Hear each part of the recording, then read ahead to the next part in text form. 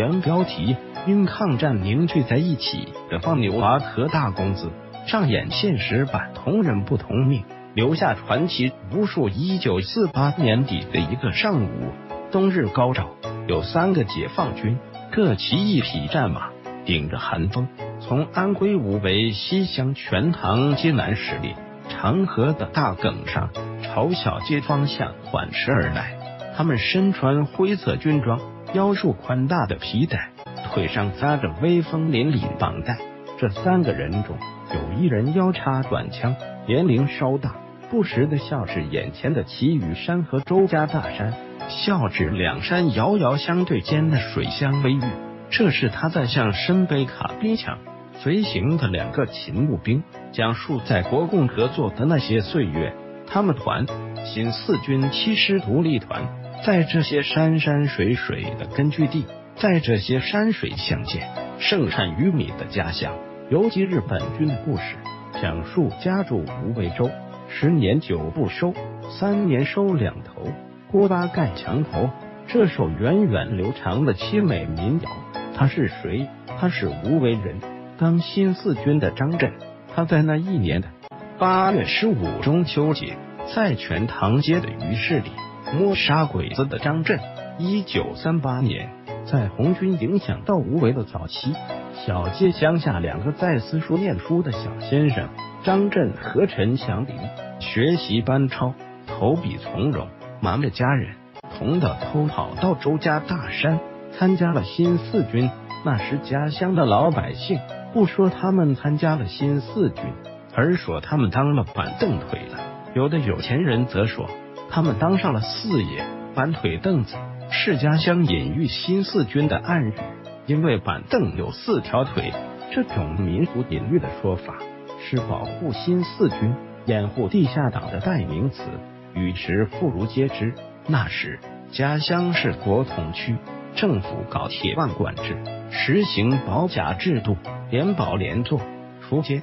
由此，在密室、在茶馆和庙会等公众场合，乡民一般都不说、不便说、不敢说，进行地下秘密活动，要变革社会的共产党。也正因为如此，所以这两个小先生去当新四军，引起坊间好多议论。当新四军干共产党，抓到是要杀头的。好男不当兵，好铁不打钉。当时。家乡人对参加新四军和当国民革命军都存在一种偏见，认为当兵是最低贱的差事。张震是金牌张村人，陈祥林是金牌陈村人，两个村子相邻，都是临河为中的穷村庄，但他们两个人的家境很不一样。张震是一个贫寒农民的儿子，农忙时放牛，农闲时才能念书。有人说他是一个很用功念书的放牛娃，是一个很聪明、有出息的孩子，但也有看不起他的人，取笑说他是灯草灰。而陈祥林则出生书香门第，是宛江侨府晚清秀才第一名，陈少平的大公子，家中经济情况在地方上较好。他五岁时随父读书，到当新四军时，在家乡已经小有名气。说这位陈家大少爷不仅四书五经读得呱呱叫，有的则能倒背如流，还说他练就一手好书法，鹤立鸡群，左右开弓，两只手能同时写出让人耀眼的好字。张震和陈祥林参加新四军后，一直随部队游击在周家大山的抗日前线，他们两人相互帮助，进步都很快。一九四五年北撤前。张震是营长，陈祥林是副团长，很受当地人的啧啧称赞。可到北撤时，这两个儿时的好同窗，后在新四军中的好战友，却闹翻了，各走各的阳关道。张震信仰坚定，意志坚决，一心一意跟着新四军部队，大踏步随军北撤到山东。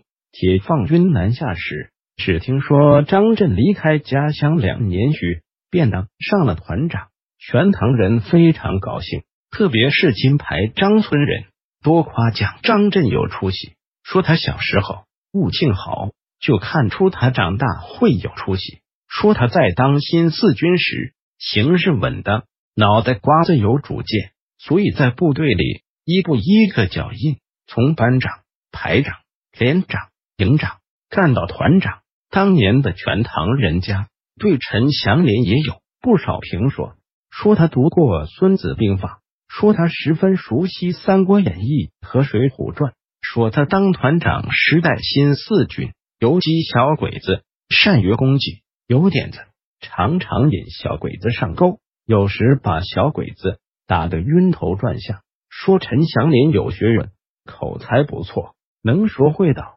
善于总结打仗经验。说他提拔快，较早的就当上了副团长。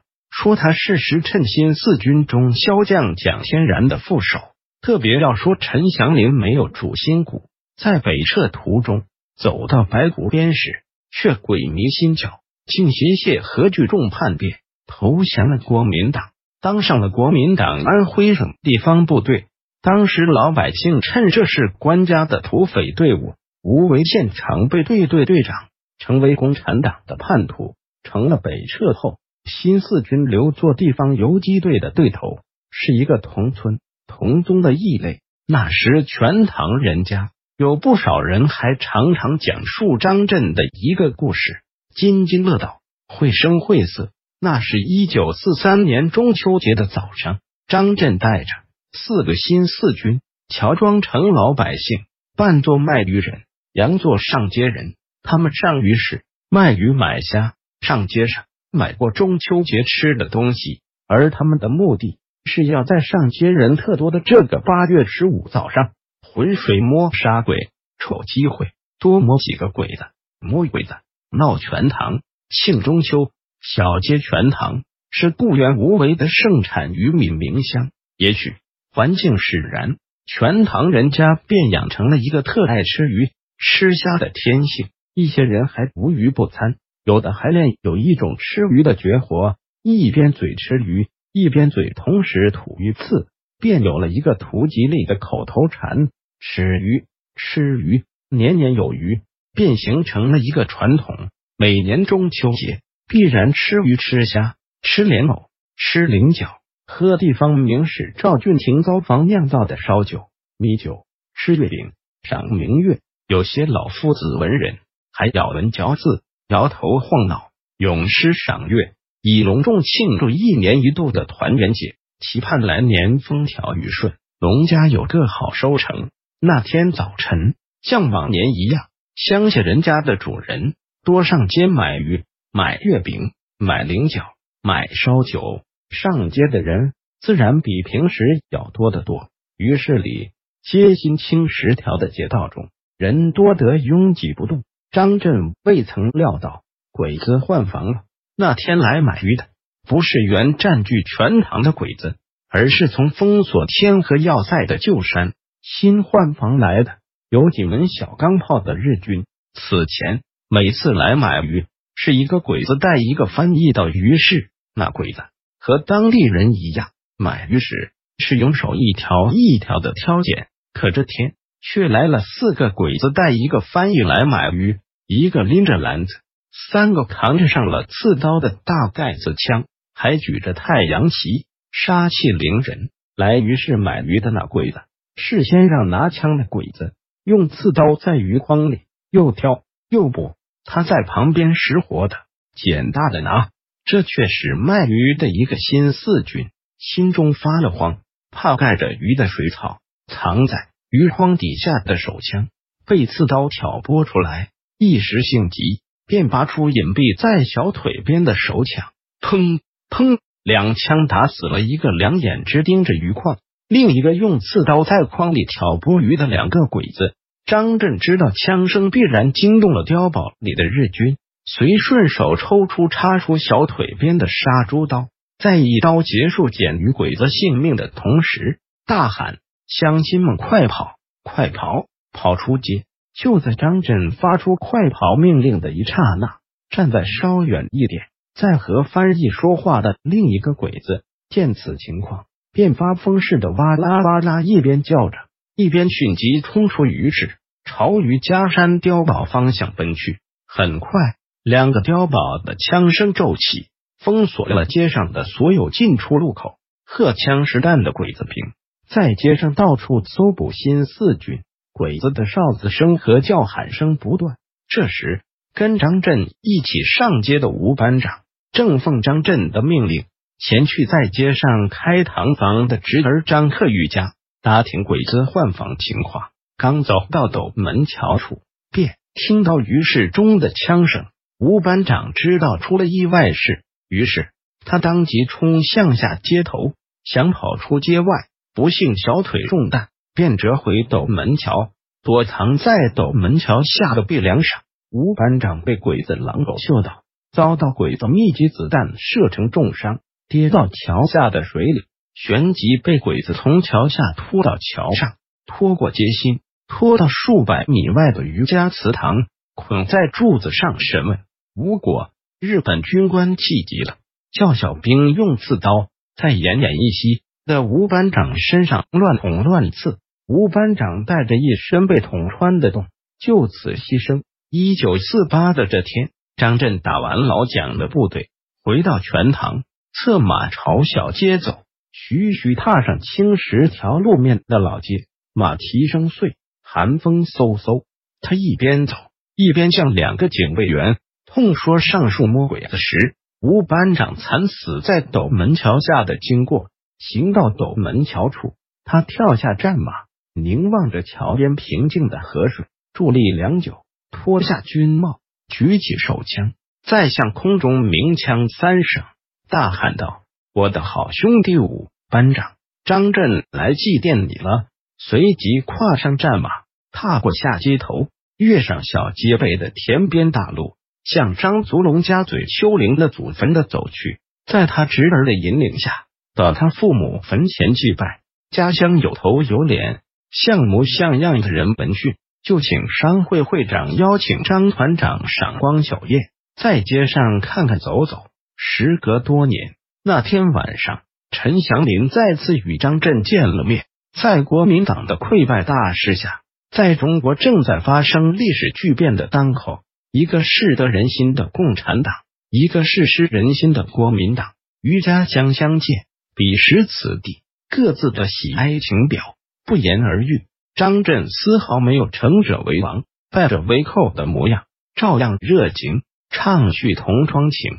说话很随意，只是坦诚平和的劝说陈祥林不要跟老蒋向南跑了，尽快召集部下就地投降，或随他一道打过长江去，解放全中国。可是陈祥林并没有听从张震的劝说。